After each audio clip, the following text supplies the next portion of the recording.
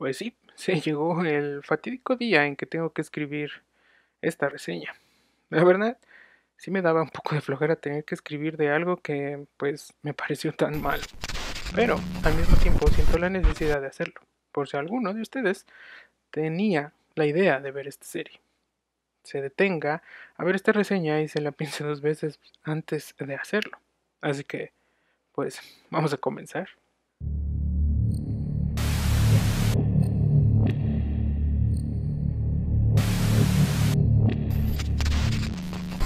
A ver, veamos. No quiero que este video sea muy largo. De hecho, mientras más resumido y corto, pues mejor. Pero sí quiero dejar mis puntos bastante claros del por qué es que pienso que esta es una de las peores adaptaciones de Resident Evil, sino que la peor adaptación de todas. Desde que conocimos la existencia de esta serie, los fans reales comenzamos a levantar la ceja, con la primicia de que Wesker, el villano de villanos por excelencia, tendría dos hijas adolescentes. Después, la ceja se iba más hasta el cielo cuando conocíamos el elenco de esta adaptación, donde Wesker estaba interpretado por un actor afroamericano. ¿Por qué? Pues podría decirles que por temas de inclusión, de quererse ganar un público en específico o por tiempos en los que vivimos.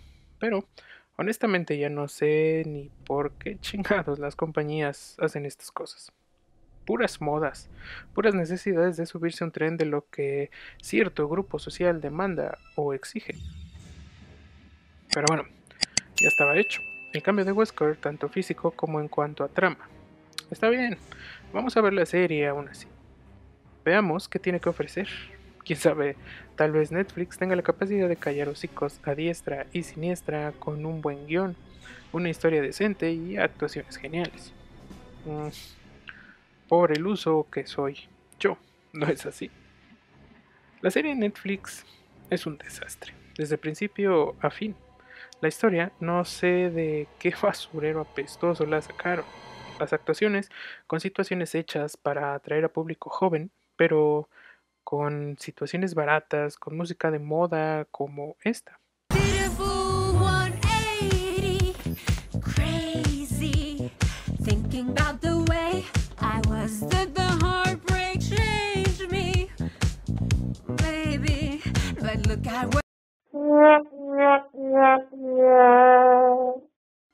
Creo que no necesito decir más en cuanto a este punto. Los personajes de las hijas de Wesker, en donde deben de sobrevivir a sus problemas personales, sumado a que son las responsables de desatar un virus mortal de nueva cuenta en una ciudad llamada Nuevo Raccoon City. Porque sí, la ciudad en donde viven se llama Raccoon City. Y sí, de nuevo se va al carajo por unas pastillas llamadas Joy. Ni siquiera sé cómo explicar todo el cagadero que se armaron los escritores con esta serie. Hasta, pues sí, hasta risa me da, de verdad, que me cuesta generar esta reseña o crítica. Pero, para hacerla corta, las actuaciones son igual de malas que el casting, que la trama, las situaciones ridículas durante toda la serie como el hecho de que ponen una umbrella que está en todos lados, que en cuanto alguien habla mal de ellos inmediatamente tocan a su puerta y se les dejan caer. Ah, pero ¿qué tal a dos adolescentes que tienen toda la libertad de entrar a su laboratorio más top secret con una facilidad sorprendente? Ningún guardia, nada. Entran como si fuera su otra casa. Loguean a cualquier computadora pueden abrir un contenedor súper peligroso con una contraseña más que estúpida. Porque sí, a este Wesker lo ponen como un científico súper inteligente, pero utiliza una contraseña casi casi como de 1, 2, 3, 4. De verdad que de tremendas incoherencias uno llegaría a pensar que es una comedia, una versión en comedia de Resident Evil. Más bien, yo creo que si la hubieran presentado así, desde un principio, pues la serie hubiera tenido más éxito. sigamos. El fanservice es mucho más barato que el que utilizaron en la última película de Welcome to Raccoon City. Madre mía, lo barato que es. Toman a los enemigos más icónicos que hemos visto a lo largo de la saga de los videojuegos como el Grave Digger de Resident Evil 3, Doctor Salvador de Resident Evil 4, los perros zombies y hasta el cocodrilote de Resident Evil 2. Todos utilizados de la peor manera posible. Solo les voy a poner el último y peor ejemplo de todos estos. No lo dije, pero bueno, esta reseña está llena de spoilers, así que pues ya saben. Al cocodrilo gigante, los buenos, entre comillas, lo utilizan para atacar a los malos, en donde sí genera su desmadre este pues mutante cocodrilo matando a diestra y siniestra. Pero cuando llega el momento de aventarse de botana a la hija de la protagonista, ah, este se toca su corazonzote y en vez de tragarse a la niña de un bocado, le provoca ternura y se acuesta como cachorrito al lado de ella. Por Dios, de verdad que qué chingados. Qué pedo Netflix. Qué pedo. Y la peor ridiculis de todas. Y lo último que voy a criticar de esta serie porque la verdad ya me asqué. Es todo este tema de Wesker. En el cual presentan a un Wesker que no es Wesker. Al no parecerse al de los videojuegos. Pero que al final de todo tampoco es Wesker en la serie. Sí, así de ridículo como lo escuchan.